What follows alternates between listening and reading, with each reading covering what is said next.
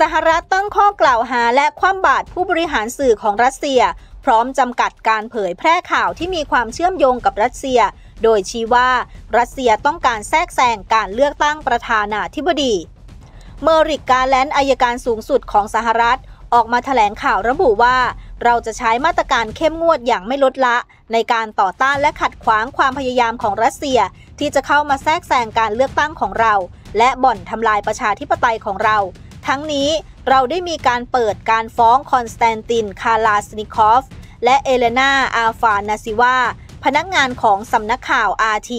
ที่ตั้งอยู่ในรัสเซีย ซึ่งเป็นสื่อที่รัฐบาลรัสเซียควบคุม พวกเขาถูกตั้งข้อหาสมคบคิดเพื่อฟอกเงิน และละเมิดกฎหมายการลงทะเบียนตัวแทนต่างชาติ ด้านกระทรวงยุติธรรมสหรัฐ ได้มีการเปิดเผยข้อมูลว่า พนักงานทั้งสองนั้น ได้ใช้ทั้งบุคคลปลอม และบริษัทบังหน้า เพื่อจ่ายเงิน 10 ล้านดอลลาร์ให้กับบริษัทแห่งหนึ่งที่ไม่เปิดเผยชื่อ ในรัฐเทนเนสซีเพื่อสร้างวิดีโอออนไลน์ ด้วยจุดประสงค์ของการขยายความแตกแยกทางการเมืองในสหรัฐ ซึ่งทางบริษัทดังกล่าวก็ได้ผลิตวิดีโอไปแล้วเกือบ 2,000 คลิป เกี่ยวกับหัวข้อ เช่น การย้ายถิ่นฐานและอัตราเงินเฟ้อ โดยมีผู้ชมบน YouTube ไปแล้ว 16 ล้านครั้ง ตั้งแต่เดือนพฤศจิกายนปีที่แล้ว ขณะที่ FBI ก็ได้ยื่นคำร้องต่อศาล เพื่อขออนุมัติการยึดโดเมนอินเทอร์เน็ต 32 ชื่อ ซึ่งถูกกล่าวหาว่ามีความเชื่อมโยงกับปฏิบัติการด้านอิทธิพลของรัสเซีย โดยเป็นการใช้ชื่อที่คล้ายคลึงกับสำนักข่าวของสหรัฐ แต่เป็นการดำเนินการโดยรัสเซีย นอกจากนี้ทางกระทรวงการคลังและกระทรวงต่างประเทศของสหรัฐ ก็ได้ประกาศมาตรการที่กำหนดเป้าหมายไปที่ RT รวมถึงการดำเนินคดีกับมาการิต้าชิโมนอฟนา ชิโมยาน บรรณาธิการบริหารของ RT ด้วย โดยเจ้าหน้าที่สหรัฐอ้างว่า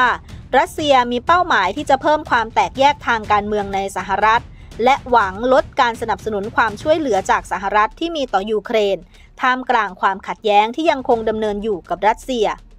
ด้านจอห์นเคอร์บี้โฆษกด้านความมั่นคงแห่งชาติของสหรัฐ ได้ออกมากล่าวว่าโครงการของรัสเซียมีเป้าหมายเพื่อลดการสนับสนุนจากนานาชาติที่มีต่อยูเครน เสริมสร้างนโยบายและผลประโยชน์ที่สนับสนุนรัสเซีย และสร้างอิทธิพลต่อผู้มีสิทธิ์เลือกตั้งในสหรัฐ ทั้งนี้ความพยายามเผยแพร่ข้อมูลเท็จของรัสเซียส่วนใหญ่ ได้รับการกำกับและสนับสนุนโดย RT ตอนนี้ RT ไม่ใช่แค่หน่วยงานโฆษณาชวนเชื่อของรัสเซียอีกต่อไปแล้ว แต่ถูกใช้เพื่อส่งเสริมการมีอิทธิพลลับๆของรัสเซีย ขณะเดียวกันทางสำนักข่าว RT ก็ได้มีการตอบสนองถึงเรื่องนี้ว่า ปี 2016 มาถึงแล้ว และความซ้ำซากจำเจก็กลับคืนมา และมี 3 สิ่งที่แน่นอนในชีวิตของสำนักข่าว RT คือ ความตาย ภาษี และการแทรกแซงการเลือกตั้งของสหรัฐ ทั้งนี้สำนักข่าว RT เคยมีประจำการอยู่ที่สหรัฐด้วย แต่ได้ยุติการดำเนินการในปี 2022 หลังจากเครือข่ายถูกยกเลิกโดยสหรัฐ เพื่อตอบสนองต่อความขัดแย้งในยูเครน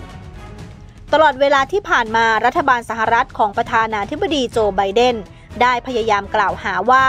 รัสเซียแทรกแซงการเลือกตั้งประธานาธิบดีสองครั้งล่าสุด คือระหว่างการหาเสียงในปี 2016 และ 2020 โดยหน่วยข่าวกรองของสหรัฐอ้างว่า รัสเซียกำลังใช้แฮกเกอร์ และใช้สงครามข้อมูล เพื่อเปลี่ยนคะแนนเสียงให้โดนัลด์ทรัมป์ได้คะแนนมากขึ้น นอกจากนี้ยังมีข้อกล่าวหาว่า ทรัมป์สมคบคิดกับรัสเซียเพื่อชนะเลือกตั้งด้วย แต่ในที่สุดเมื่อการสอบสวนผ่านไปนานถึง 2 ปี ก็พบว่าไม่มีมูลความจริงแต่อย่างใด